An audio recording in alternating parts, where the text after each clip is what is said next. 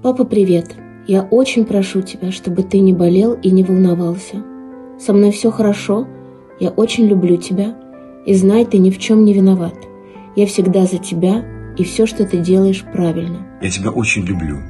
Спасибо тебе за все, что ты делаешь для меня. Когда тебе плохо или ты волнуешься, я болею, и мне очень плохо.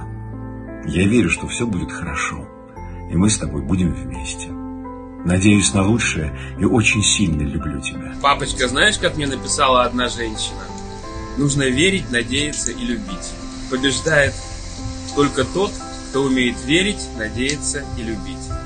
Знай, что мы победим, что победа будет за нами, что бы ни случилось.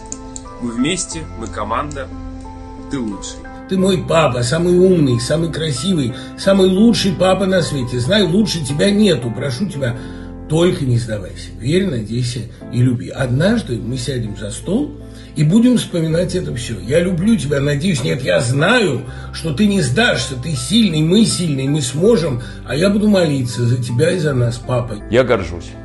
Да, папа, я могу сказать, что я горжусь моим отцом.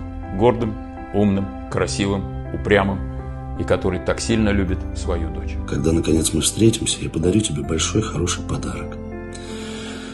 Папочка, я не хочу писать, как у меня здоровье и настроение. Расстраивать тебя не хочу. Но я поняла, лучше горькая правда, чем сладкая ложь. Но ничего, мы встретимся, и я тебе все расскажу. Вот такой знак, нарисованный Машей Пацифик, означает противовоенный знак. Этот кулон я подарю тебе как самому храброму человеку в мире. You. Ты герой. Мой герой.